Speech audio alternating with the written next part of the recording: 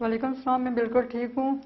जी तो जरीना बेगम हमारे माशरे में जुल्म सितम औरतों पर एक आम बात है तो आपके साथ जो जुल्म हुआ वो आप बताइएगा। नाजरीन मैं शेर अंजालकोट की रहने वाली हूँ और झंडा बगला में मेरी शादी हुई थी। मेरी शादी 2005 में हुई और 2020 में मेरे शोर ने मुझे डिवोर्स दे दी। आखिर तलाक क्यों दी? तलाक की कोई वजह कोई झगड़ा? कोई खास वजह या झगड़ा वगैरह नहीं था क्योंकि 15 साल के बाद एक औरत अपने घर में रह रही है उसके तीन बच्चे भी हैं। तो भला वो क्या किसी का क्या बिगाड़ सकती थी? उसका रहने का तौर तरीका और खाना पीना उसका अपना अलग सिस्टम है तो फिर वो किसी का क्या बिगाड़ सकती सास के नंद के झगड़े थे? किसकी वजह से आपको तलाक दी गई? आखिर हुआ क्या?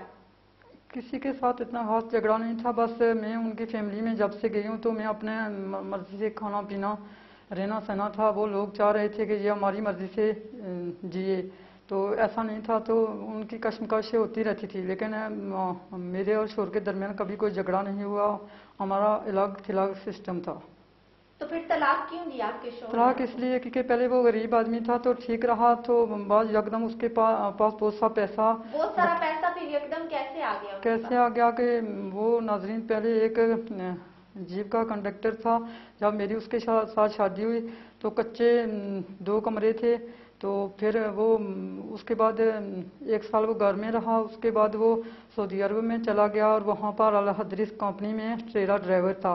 तो मुझे भी नहीं समझ आ रहा था कि वो कहाँ से था मैंने उससे कई बार मैं नमाज़ पढ़ती हूँ और रोज़ा भी रखती हूँ। मैंने उससे कई बार कहा कि नमाज़ भी पढ़ा करो जुमे के लिए जब मैं कहती हूँ कि जुमा पढ़ने के लिए जाते तो वो आगे से मज़ाक नहीं? नशा वगैरह नहीं करते थे। नहीं मारपीट नहीं मारपीट भी नहीं करते थे।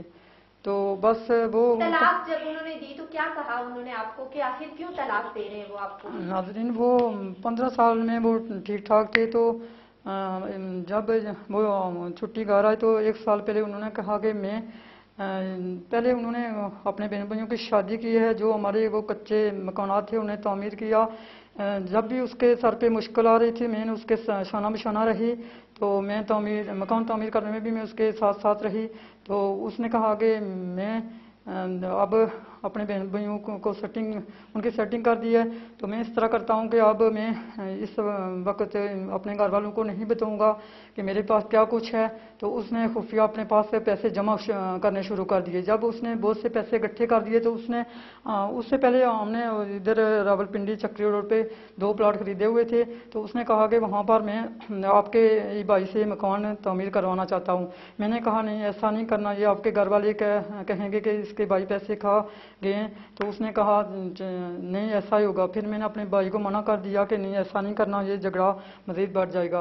अच्छा मतलब ऐसा आपका झगड़ा उस अरसे से उस दौरानिए से चल रहा था? थोड़ा थोड़ा चल रहा था तो मैंने उससे कहा तो उसने कहा जब जैसा कि हमारे माशरे में औरतों को तलकीन की जाती है कि वो सबर करें बर्दाश्त करें और अपने शोर की बात पे सर झुका लें तो आपने नहीं सोचा कि मैं अपना घर बचाने के लिए शोर की हाँ में हाँ मिला लूँ? नहीं, मैंने अपने शोर की, के हमें आम मिलाई तो पंद्रह साल गुजरे तो उस वक्त मैंने ये कहा उनसे कि मेरा भाई काम नहीं करेगा, मजीद झगड़ा बढ़ सकता है। तो फिर ऐसा हुआ कि मैंने उनको मना कर दिया तो उन्होंने कहा कि चलो बना बना मकान ले लेते हैं। तो फिर उन्होंने अपने घर वालों को बता दिया कि मेरे पास बहुत से पैसे हैं छठ लाख रुपया मेरे, मैंने जमा किया हुआ इधर।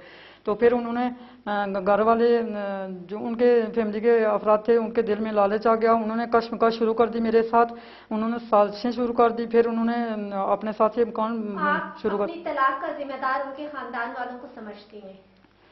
बस मैं तो कहती हूँ कि लादगी तो अल्लाह ताला की तरफ़ से होती है लेकिन कशमकश वहाँ से शुरू हुई। बच्चे तीन बच्चे हैं। वो इस वक्त किसके पास हैं? वो मेरे मेरे साथ है उनकी कफालत कौन कर रहा है? उनकी कफालत मैं ही कर रही हूँ। आप कर रही हैं। तो जब आपको तलाक दी गई आपको घर से निकाल दिया गया जैसा कि आप कह रही हैं तो क्या आपके खामन ने ये नहीं कहा कि वो अपने बच्चों को अपने पास रखेगा? क्योंकि बच्चे तो उन्हीं के हैं ना।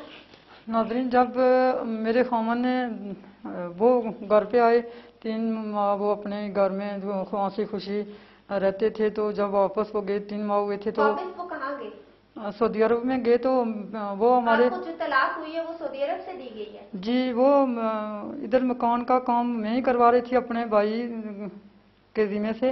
तो वो लोग उनको काफ़ी जलस हो रही थी उनके फैमिली के लोगों को कि ये इसका भाई क्यों काम कर रहा करवा रहा। तो मैंने कई बार अपने शोर से ये भी कहा कि ये स- इन्होंने साजिशें शुरू कर दी हैं। कि कल ये ना हो कि हमारे बच्चों का मुस्तकबिल बिगाड़ दें। तो फिर भी उसने नहीं सुना। फिर एक दिन ऐसा हुआ कि ये सुबह सुबह का वक्त था। मैं नाश्ता बना रही थी बना रही थी तो ये छोटे बच्चे मोबाइल के साथ खेल रहे थे। ये खेलते खेलते छोटी बच्ची जो है जिस छः सात साल की, इसके हाथ से एक वीडियो चली गई मेरे शोर के पास। तो उन्होंने शोर करना शुरू कर दिया, गाल गलोच करना शुरू कर दी। तो मैंने कहा चलो आज माफ़ कर दें, बच्चे हैं, ये वीडियो कहाँ से आई है, किधर से आई है किस किस का नंबर है?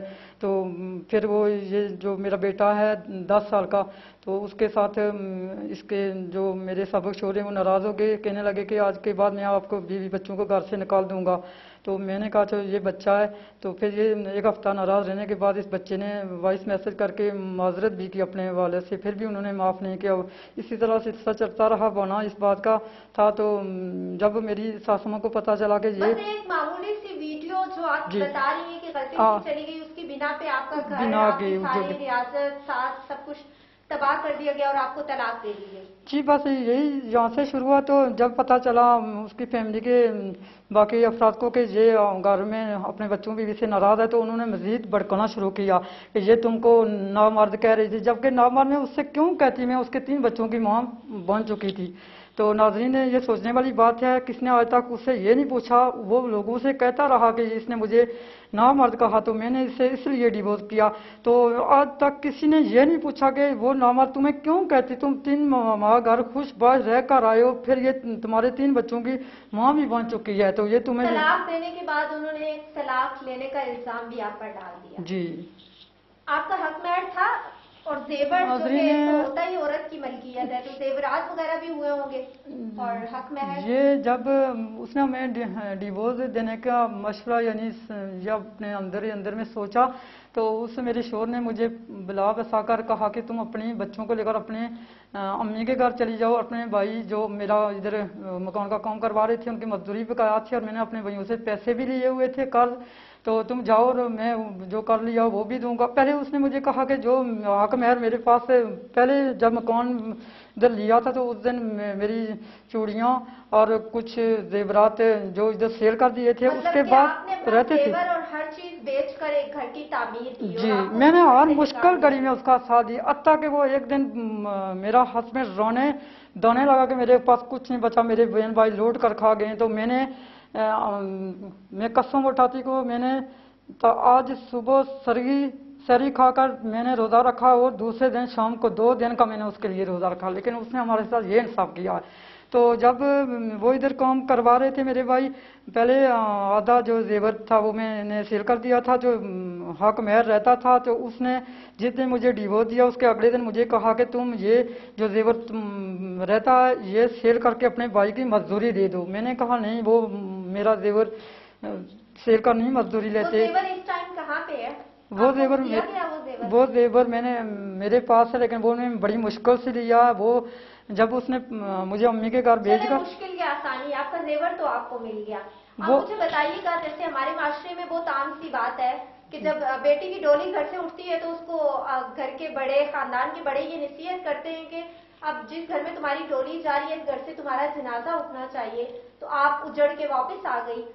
चले खुदा की करनी आपका तो नहीं है लेकिन फिर भी आपके घर वालों का खानदान वालों का इस पे क्या रिएक्शन था? उन्होंने आपके साथ कॉपरेट किया। जी, नाज़रीन। वापस जब आप आई तो किन मसाइल का सामना रहा आपने? नाजरीन मेरी बात गौर से सुने ये बड़ी इम्पोर्टेंट बात है। जब मैं मगरब की नमाज़ से फारूक हुई तो उसने वो जब मैं अम्मी के घर गई तो पूरा दिन वो मुझे, मेरे साथ रबते में रहा, किस वक्त ये पहुँचे तो मैं इसको डिवोर्स दे दूँ।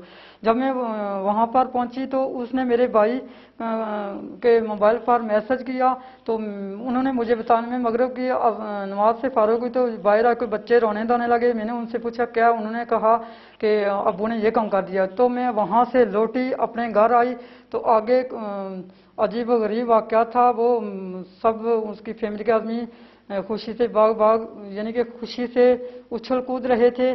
तो उन्होंने मेरे घर के ताले तोड़कर मेरा जेवर, जो हक मेहर था, वो भी निकाला। प्रॉपर्टी के पेपर भी निकाल लिए। मैंने कहा कि प्लीज़ खुदा के लिए दरवाज़ा खोल, मैं अपने घर में रहूँगी, मैं तो उन्होंने नहीं दरवाज़ा खोला, कुछ बरादरी के आदमी भी वहाँ पर आ गए उन्होंने भी कहा, उन्होंने नहीं दरवाज़ा खोला, ना ही मेरा जेवर दिया, फिर मैंने महकमा पुलिस को इतला दी, पुलिस की गाड़ी आई, उन्होंने मुझे वहाँ से वो जेवर, जेवरा जो लेकर दिए और फिर वहाँ पर मेरे भाई भी मौके पर पहुँच के उन लोगों ने ये मैं अपने घर से नहीं निकलती थी।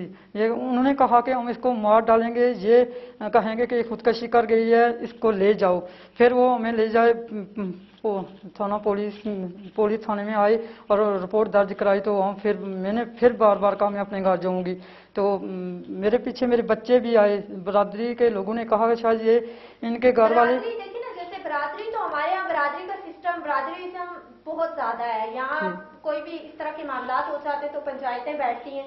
तो क्या आपकी बरादरी आपकी पंचायतों ने कोई आपके हक में फैसला नहीं किया? उस शख्स से उस शख्स की फैमिली से कोई नहीं पूछ सका कि आखिर उसने आपके साथ ये जुल्म क्यों किया? जब बरादरी के लोग वहाँ पर आए तो मैंने उनसे कहा कि इन, से इनको बोलो प्लीज़ के लिए दरवाजे खोले। मैं अपने घर में रहूँगी। एक जवान चौदह पंद्रह साल की बेटी को मैं लेकर कहाँ जाऊँगी? तो उन्होंने कहा जी हमारी नहीं सुनते। फिर हम क्या करें? तो उन्होंने भी कहा कि दरवाज़ा खोल को रहने दो। उन्होंने कहा ये इधर बच्चों को लेकर ना रहे क्योंकि ये खुदकशी कर देगी और हमारे घर को जला देगी। जबकि ऐसा नहीं था मैंने बार बार उन्हें कहा लेकिन उन्होंने नहीं सुना। फिर हमारे भाई मुझे वहाँ से वापस ले गए।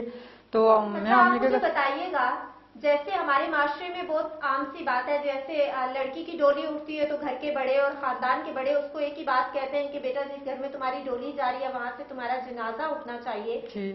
तो आप उजड़ के वापस आ गई। और उजड़ने के बाद जब आप वापस आई तो आपके साथ आपके हमरा तीन बच्चे भी थे। तो आपके खानदान वालों ने आपके घर वालों ने बहन भाइयों ने आपको कॉपरेट किया किस नज़र से देखा तब आपको किन मसाइल का सामना रहा? उन्होंने तो काफ़ी अच्छा ही हमें मौका दिया हमें इज़्ज़त दी है लेकिन फिर भी कितना मुश्किल होता है नाजरीन। तीन बच्चे लेकर वापस अपने मैके जाना जो कोई आसान बात नहीं है। मैं नौ दस वक्त आप कहाँ रह रही हैं? नाजरीन तकरीबन मैं आठ नौ माह उधर रही हूँ। उसके बाद मैं इधर रेंट पे रह रही हूँ। तो आपके घर का रेंट कौन दे रहा है? बस कुछ भाई दे रहे हैं उनके भी कोई इतने ज़्यादा वसाइल नहीं है। कोई कुछ मैं खुद बर्दाश्त कर रही हूँ उनकी पढ़ाई इनकी फीसें इनका खाना पीना रहना सहना सब कुछ एक बात बताइएगा कि उसने बच्चों को जब निकाल दिया तो बच्चों के खर्चे के लिए बच्चों के लिए कोई बात नहीं की। अभी वो कहाँ पे है? वो बच्चों से मिलने का मुतालबा नहीं करते या बच्चे बाप के पास जाने का नहीं कहते आपसे? जाने का कहते हैं नाजरीन जब मैं उधर अम्मी के घर गई तो बच्चों ने रोना धोना शुरू कर दिया तो फिर हम बच्चों को लेकर पुरंदी वाले मकान में आए। तो इधर उन्होंने बच्चों को मेरे शोर के ही पैसे और उसी पैसे महकमा पुलिस को देकर बच्चों को घर से निकलवा दिया। तो जब रात को मेरे बच्चे सो रहे थे बारह बजे का टाइम था तो महकमा पुलिस आए बच्चों को घसीट कर थाने ले गई और रात भर बच्चे थाने में रहे। नाजरीन ये कहाँ का इंसाफ है? एक औरत का और उसके बच्चों के साथ। आपने क्या इस बात पे कोई एक्शन नहीं लिया इंतजामिया से? इंतजामिया से भी- कोई अपील नहीं दायर की क्यों अपील की है अपील अपील की है जरा वो जो इंस्पेक्टर थे अकमल शरीफ मैंने हमने उनसे भी कहा तो उन्होंने कहा कि ये कह रहे हैं कि यह गैर कानूनी काम है तो ये तुम बच्चों को लेकर चले जाओ। फिर हमने ये भी कहा कि अबूरी खर्चा दे जा जमे। बच्चों को लेकर किधर जाऊँ? उन्होंने ना ही अबूरी खर्चा दिया डेढ़ घर वालों ने आपने उस शख्स पे बच्चों के कफालत का जिम्मा जो कि उसके जिम्मे में आता है खर्च देना अपने बच्चों का तो कोई केस वगैरह नहीं किया आपने? केस किया हुआ था फैमिली कोर्ट के जज ने फैसला दो साल के बाद सुनाया कि अठारह हज़ार एक माह का देगा पिछला खर्च भी देगा लेकिन वो इस अभी तक वो अठारह हज़ार रूपए मिल रहे? कब फैसला हुआ है आपका? दो माह पहले फैसला हुआ था इस वक्त तक को, कोई आमद तो क्या नहीं हुआ। उस शख्स के हाथ इतने लंबे हैं या कानून के हाथ इतने छोटे हैं कि वो कानून की फ़ोन से कोई पता नहीं ये भी हमारी समझ से बाहर है कि क्या इस पे मत कोई वापस पैरवी नहीं की इस चीज़ की? आपके जो वकील हैं या आप लोगों ने अदालत में वापस रुजू किया हो कि क्यों वो शख्स पैसे नहीं दे रहा है? जो अदालत ने उसको रुजू तो किया है बार बार हम अदालत में गए। तो क्या कह रही है? अदालत क्या कह रही है? वो कह रहे हैं कि वह खर्चा देगा। वो कह रहा मैं आगे अपील करूँगा खर्चा भी नहीं देगा। मैं केस लट- लटकाए रहूँगा क्योंकि मेरे पास पैसे हैं मैं जज वकील सबको खरीद सकता हूँ। तो हम क्या करें? हम गरीब आदमी एक औरत होने के नाते में क्या कर सकती हूँ? बिना रोने दाने के। अब बच्चे भी मायूस हैं वो पढ़ाई से भी डिस्टर्ब हो रहे हैं। और रीड फंडिशन इदारे में उन्होंने बच्चों को उन्होंने काफ़ी हमारी सपोर्ट की है लेकिन फ़ीस माफ़ नहीं हुई है। मैंने उन्हें कहा कि जब फैसला होगा अदालत से तो मैं फ़ीस दूँगी। तो अब बच्चे काफ़ी डिस्टर्ब हैं स्कूल वाले कह रहे हैं कि अब टाइम पूरा हो गया ये फ़ीस दो। तो इस लिए हम बहुत मजबूर हैं और परेशान भी हैं। तो क्या कर सकते हैं एक औरत होने के नाते? आप हमारे नाजरीन से और कानून नाफिज करने वाले इदारों से क्या कहना चाहेंगी? मैं कानून नाफिज करने वाले इदारों से ये कहना चाहूँगी कि जो खवातीन और बच्चे उनको इंसाफ दिया जाए। क्यों उनके साथ बेइंसाफ़ी की जा रही है? क्योंकि कायद अजम की तस्वीरें देखकर उनके इंसाफ को क्यों बेचा जा रहा है? क्यों होता है ऐसा? हमें सख्त दुख होता है। क्या जो आज हमारे साथ हुआ है, कल उनके बेटियों के साथ भी ये हो सकता है? कश्मीर के वज़ीर अजम से और पाकिस्तान के वज़ीर अजम इमरान खान से भी मेरी रिक्वेस्ट है अपील है कि वो हमें इंसाफ दिलाने में हमारी मदद करें। और मैं, हमारे मुल्क के अंदर और मुल्क के बाहर जो भी हमारे बहन भाई रहते हैं, जिनके पास कुछ अल्लाह का दिया हुआ है तो वो हमारी मदद करें, हमें हौसला दें, ताकि मैं इन बेबस और महाजर बच्चों को लेकर उस कहीं इनका ठिकाना बना सकूँ और इन्हें मैं तहफ़ दे सकूँ। क्योंकि मेरे पास एक जवान बेटी है तो मैं इस वक्त उसे लेकर कहाँ कहाँ जाऊँ? वो दर दर की ठोकरें खा रही हैं। तो मैं ये चाहती हूँ कि कोई हमारी मदद, अल्लाह का प्यारा बंदा, जो भी है, वो हमारी मदद करे ताकि मैं इनको कोई ठिकाना देख सकूँ, इनको मुकाम देख सकूँ, ताकि जो ये रात आराम आराम से गुजार सकें। क्योंकि ये बच्चे बहुत डिस्टर्ब हैं। स्कूल में आते जाते भी वो, उनके फैमिली के लोग इन्हें डिस्टर्ब करते हैं। कभी कभी इन मासूम बच्चों को ब्लैकमेल करने की कोशिश करते हैं। एक मफरूज और मैं- जब से मेरा एक गुर्दा भी नहीं है, मैं काम भी नहीं कर सकती। एक मफरूज औरत इन बच्चों के लेकर कहाँ कहाँ की ठोकरों में फिरती है। तो प्लीज़ जो भी इस कहानी को सुने तो इसको आगे शेयर करें और तमाम लोगों से मेरी अपील है कि वो हम- हमारी मदद करें और हमें हौसला दें हमारे बच्चों को हौसला दें हमें हौसला दें ताकि हम भी ज़िंदगी की दौड़ में आगे बढ़ सकें। क्या नाम है आपका? कौन सी क्लास में पढ़ती हैं? वन में वन में कौन से स्कूल में पढ़ रही हैं आप? तीन कंडीशन तो आप बाबा के साथ रहती हैं या मामा के साथ? मामा के साथ। क्या नाम है आपका? जो मुनीर आप मामा के साथ रहते हैं या बाबा के साथ? मामा के साथ। तो बाबा की याद आती है? मिलने जाते हैं आप उनसे? मिलने नहीं जाते याद आती है। तो बाबा बुलाते नहीं है? फ़ोन पे बात वगैरह होती है? जी नहीं। क्या नाम है आपका? मुकद्दस मुनीर कितनी एज है आपकी? फोर्टीन। फोर्टीन इयर्स कौन सी क्लास में पढ़ रही हैं आप? प्री नाइन्थ तो आप मामा के साथ रह रही हैं या बाबा के साथ? मामा के साथ। तो बाबा के पास जाने का दिल नहीं करता? बाबा बुलाते नहीं है आपको?